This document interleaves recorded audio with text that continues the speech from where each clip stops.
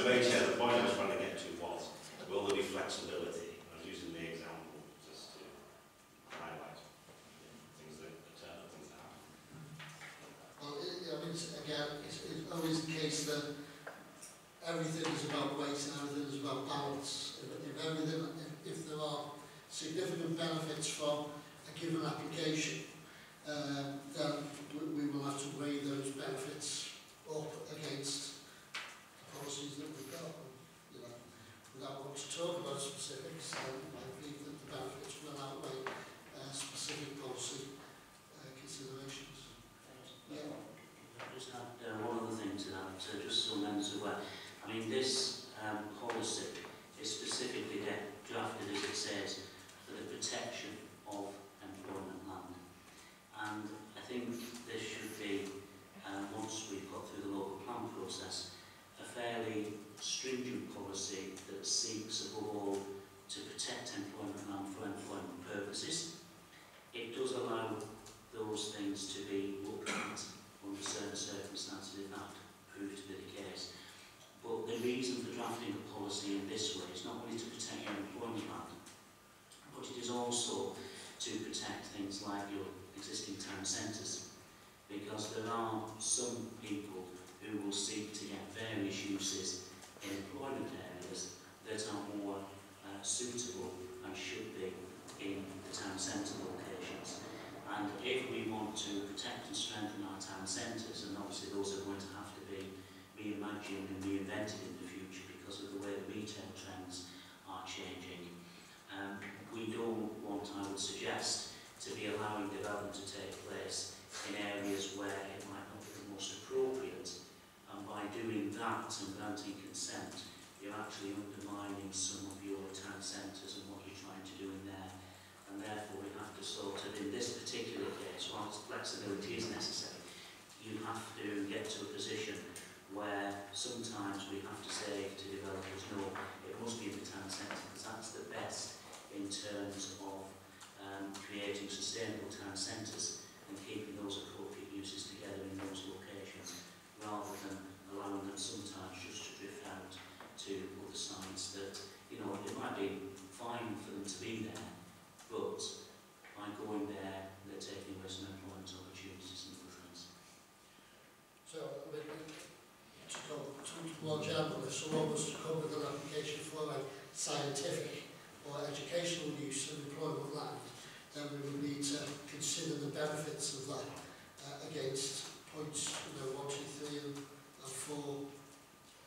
uh, in this policy room.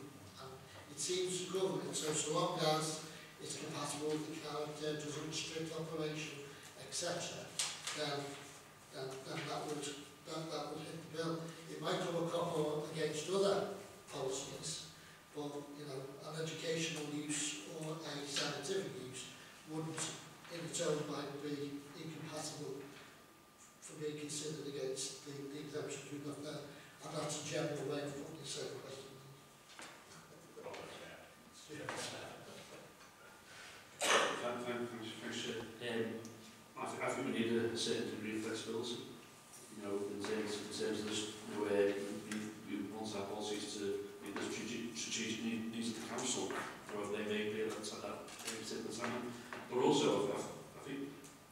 I, I just, I can't see how this policy is dynamic for the change face of work. Because what we're going to see in the future is more automation. And I think it begs the question, what do we want from, our, from our employment Because there's, there's more than one industrial site,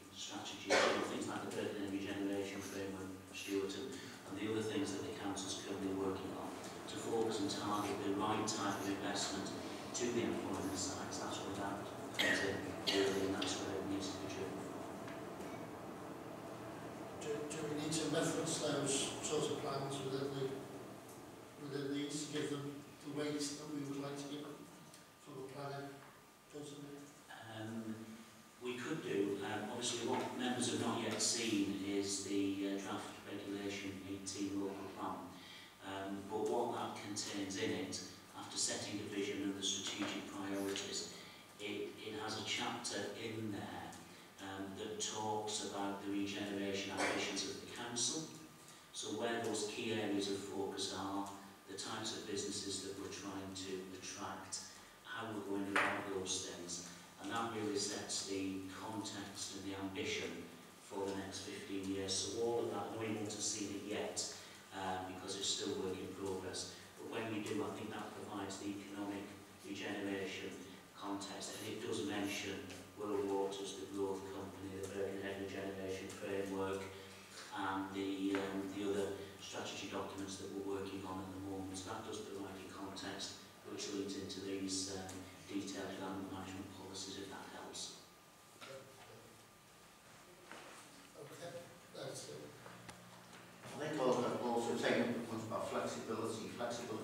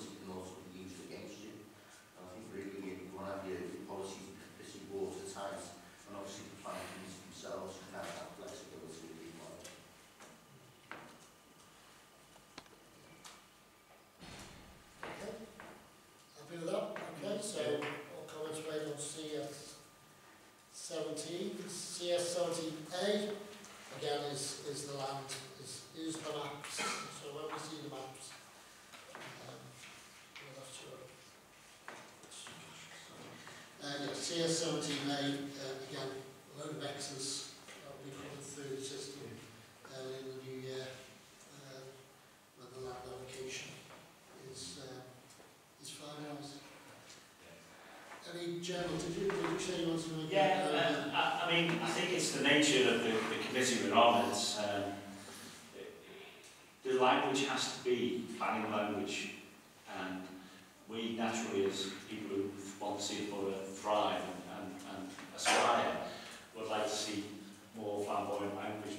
understand that's not what technical documents are to supply. I've just got more reassurance that where we can, we will reference those strategies that have the ambitious language in, that say that we want high quality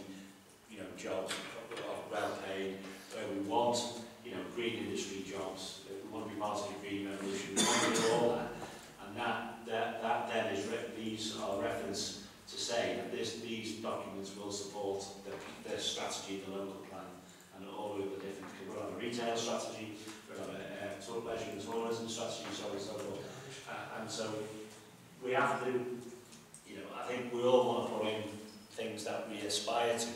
These aren't the documents to do it. These will underpin the more aspirational documents. So long as we, as you say, Chair, cross-reference them once they're in place, then when we come to planning committee, we will be able to reference the strategy and say, well, actually, this doesn't, you know, this doesn't fit the bill. We can make that balance judgment as the planning committee. So that's, that's what hoping. So that's the point we've got to make. And just be to say that, that that is the case and that's how you'll be able to do it. So what's really important when the Regulation 18 plan comes out for consultation is to actually have a, a really good look at that and make sure that it does reflect your ambitions its various different uh, aspects which we've spoken about this evening. And then these policies, this is like the, the technical tools. Yeah.